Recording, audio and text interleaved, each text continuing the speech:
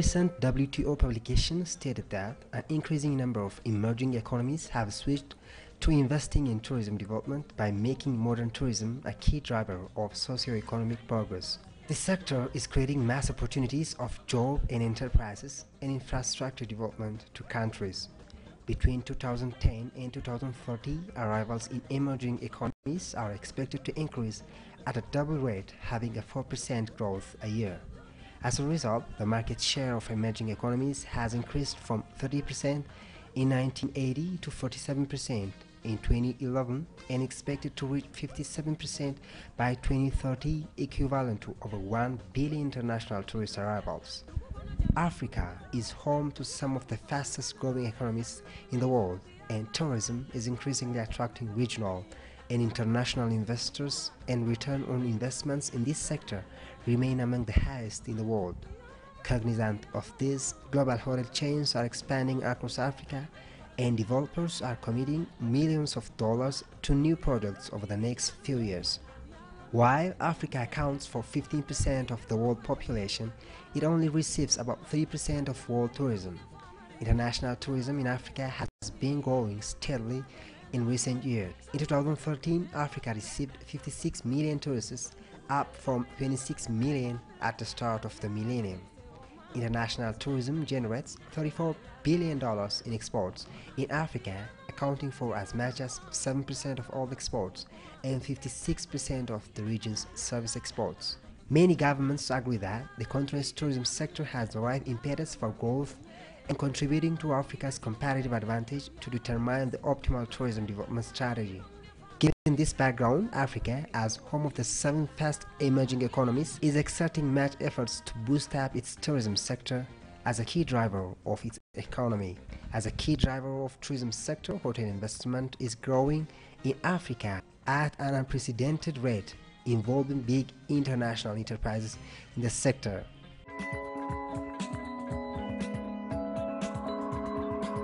Africa started to host the annual African Hotel Investment Forum in Morocco in 2011 and since then the forum has attracted the attention of the international community, especially those mega firms in the sector.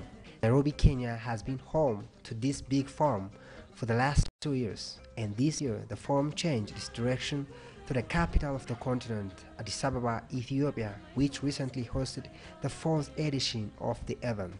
The forum has brought together serious players that drive investment, infrastructure, and hotel investment across Africa. Over the past three years, the forum converged on key industry individuals, all sharing common interest that is driving tourism and hotel investment across the continent. Opening the forum, Prime Minister Hailemariam Desalegn took high note on the importance of such states to develop the sector. Sector-focused regional forums like the one we have today are very important in creating a joint platform for all stakeholders in the sector to exchange ideas, views, technology, systems, and partnerships which play an important role in the promotion of the hospitality industry in Ethiopia and at the continental scale in Africa.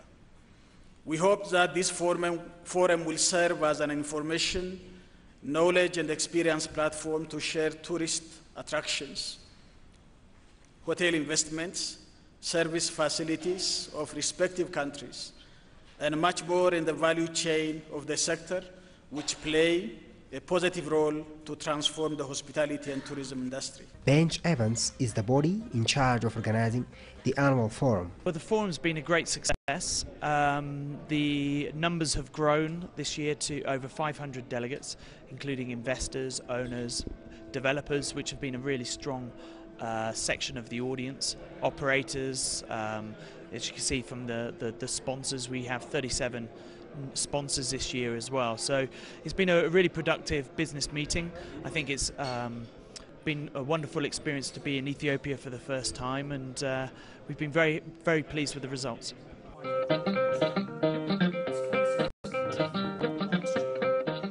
We reached a point uh, about four months ago where we had 24 sponsors, and we knew that we were obviously with the potential of getting 30 plus 40 perhaps sponsors running out of space in the hotel. So we knew of this hotel and we took the little bit of a risk in moving the event quite late on. But it's, it's paid off. It's, it's meant that the event has grow, grown in people's eyes and it means that we have established ourselves as the, the leading event in the African continent. Hosting the event for the first time, Ethiopia has exerted maximum efforts to make the forum a success. Continued effort of the African Hotel Investment Forum will provide a platform and opportunity of our esteemed private sector to meet many prominent international hotel brands, investors, management companies, and consultants to make successful hotel investment ventures and I hope all will find out feasible to consider Ethiopia. The 2014 African Hotel Investment Forum has 550 participants from around the world. Calibra Hospitality and Consultancy, an Ethiopian-based firm, has actively participated in the efforts to make the event a success. This forum has really been really a, a, great success so far, just in line with what has really happened. And definitely, this is this kind of forum is something that I'm encouraged to really happen on yearly basis in Ethiopia. So overall, it has really been uh, all, all stakeholders. And I did also manage to really speak with some of hotel developers, some hotel owners who have been actively playing in this market in Ethiopia. All I could say have really been uh, happy uh, for getting this opportunity to really meet and mix with all the key industry leaders in the world. A move to make much out of this sector, Ethiopia has established a national tourism organization this year. Chief Executive Officer of the organization, Solomon Tadesse, believes in the importance of such forums. Uh, እዚህ ዛሬ አሁን በ2014 uh, ኢትዮጵያ ውስጥ መሆኑ uh, ሁለት ጥቅም አለው ብዬ ነው የማስበው። I see this forum as having two enormous benefits for the country. The first one is the forum could show how much the country is progressing economically, especially over the last 10 consecutive years. Addis Ababa has become center for conference tourism. There are many big firms who took part in this forum, so we also build the image of our country. The second advantage is that these firms with big brands would inspire local investors in the sector. Firms in the sector like Starwood Hotels and Resorts worldwide, Hilton International, Marriott International, and Wyndham Hotel Group were among the renowned hotels who attended the forum. Wyndham International Hotel Group has managed to sign a management agreement with ADM Business PLC for its first hotel in Ethiopia that go by the name Ramada.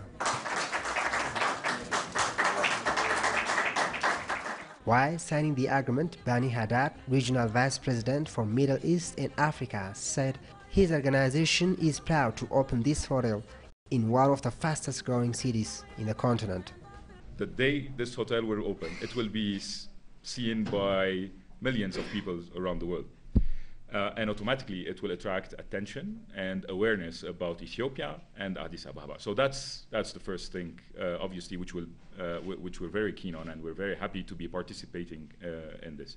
The second thing is obviously the creation of jobs for the country. Um, and that's obviously extremely important when the economy is developing so fast. the third thing, it doesn't uh, it doesn't only take to open a hotel. Uh, it's, it's extremely important, we think, to open a hotel uh, in a professional way with a strong brand, bringing in a know-how and passing this know-how uh, to the local population. Marriott International has plans to bring Courtyard Marriott and executive apartments in Addis Ababa in 2015. Africa is hugely important to Marriott International, and we are the only global hotel chain that made a major commitment in 2014 to acquire Protea, which is an African based hotel company of 112 hotels, which we acquired in April of this year, which really makes us now the largest hotel operator in Africa, with 120 operating hotels in 10 countries and a pipeline of 27 hotels and a further 5,000 rooms that will take us to 17 countries in Africa.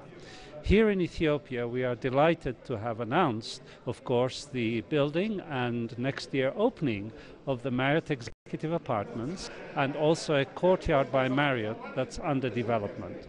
Participants representing different African countries believe Such events have immense role to boost the continent's hotel tourism sector. We came here two ways. one to market our country, Zambia, and the second one is to find investors for a number of investment opportunities that we have back in Zambia in order to improve our tourism offerings. Was it fruitful? Very fruitful. We have had some meetings. We've had uh, meetings with the possible investors uh, that would like to come to Zambia.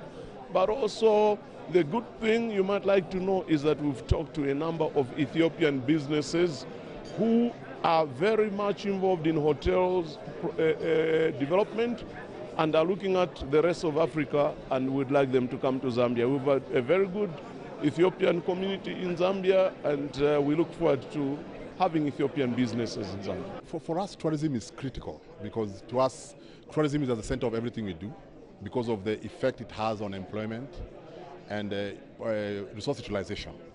So to us, we want to grow it, we want to increase our bed capacity, we want to diversify our markets so that we, we, have, we have better trade because the more, the more tourists who come, the better trade you have. We've made very good deals, met uh, a, a lot of prospective investors for our country. But uh, talking as an African, I'm happy that the forum has come.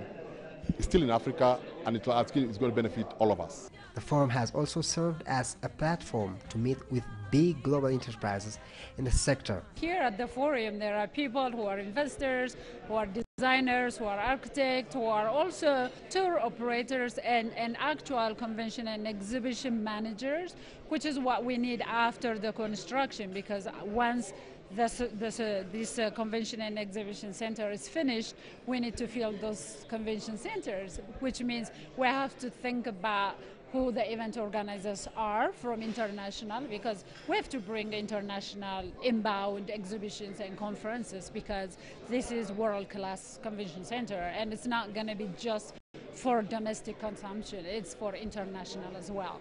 This forum brings all uh, major uh, uh, role players from the hotel sector like the management companies of accor Starwood, Intercontinental, you name it, all the big ones like Kempinski, all of them, uh, all of them are here. And uh, the fact that they come here to, for the first time, to put their uh, uh, investment forum here, organized here, will give us a very good chance of exposure for our country so that uh, other uh, investors also will follow on their track and then again, as also the people investing in the hotel sector, we get to meet all these people in one place, which you normally have to travel all over the world to meet. And they give you sufficient time to discuss because they are here for this purpose. There are also people in the banking sector willing to discuss about uh, loan arrangements, and that all will help uh, in the uh, image building and it will also actually help in the people in the hotel industry here.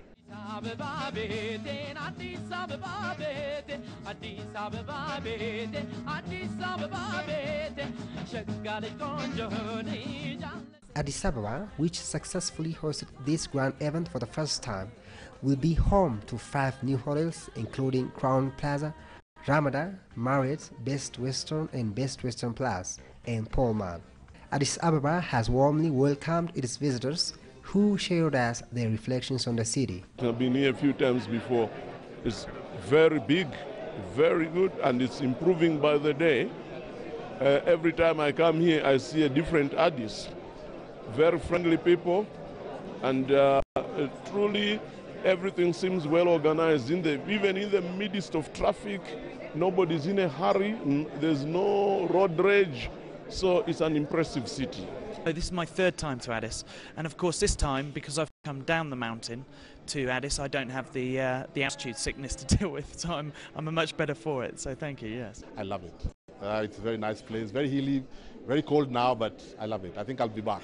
I'm delighted to say this is my fourth time coming back to Addis Ababa. Uh, I love the city, I love the country. This is one of the fastest growing economies, as we know, in Africa and in the world. And we see tremendous potential in Ethiopia. Of course, initially in the major cities, but over time in the secondary cities, especially as more toll roads and more infrastructure are developed by government right across the country. With the booming oil investment and service sector, Africa has stepped efforts to make the sector a key driver of socio-economic development. What is happening in Ethiopia is not different. The country is making every preparation to host big international hotel groups. Come and invest in Ethiopia. The cradle of mankind, the origin of coffee, an ancient civilization with a rich political history of fighting colonialism and defeating it, the country which is the political and diplomatic center of Africa and the headquarters of the African Union.